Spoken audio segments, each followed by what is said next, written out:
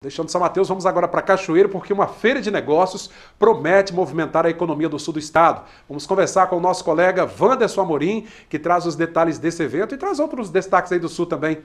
Olá, Wanderson, fala aí como é que estão os preparativos para essa feira. Olá, Cláudio. A feira, que está na 16ª edição, começa nesta quarta-feira no Parque de Exposição de Cachoeiro e deve reunir milhares de pessoas.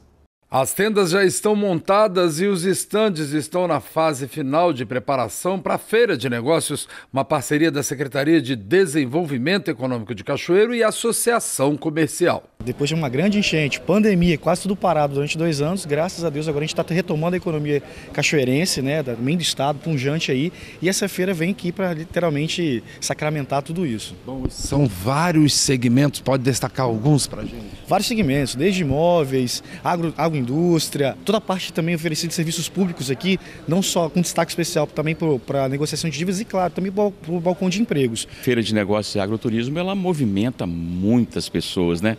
Tem muitas pessoas trabalhando. Como você pode ver aqui, tem, tem eletricista, tem o pessoal da montagem, tem decoradores e por aí vai. Assim, uma, uma infinidade de, de pessoas que, tem, que participam desse movimento. E é claro também o, o, movimento dos expositores, né?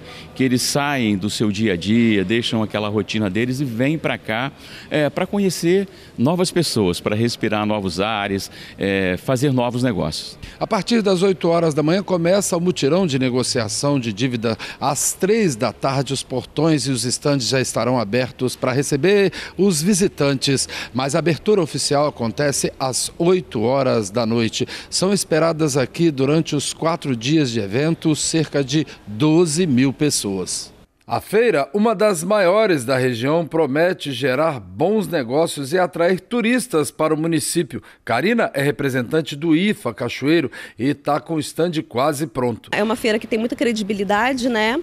E fortalece também né, as empresas aqui de Cachoeiro e todos os nossos parceiros estão envolvidos, então é uma feira muito importante para a cidade. Além do mutirão de negociação de dívidas, a feira contará com exposição multissetorial de diversos empresariais, atividades de formação profissional, cadastramento para cerca de 200 vagas de emprego para vários segmentos. A gente vai ter vagas de, de escolaridade de várias coisas, sem escolaridade, ensino fundamental, ensino médio também ensino superior. Então basta trazer o CPF, os interessados e chegar aqui no balcão de empregos. Lembrando que o balcão de empregos funciona no horário diferente da feira, de 8 às 17.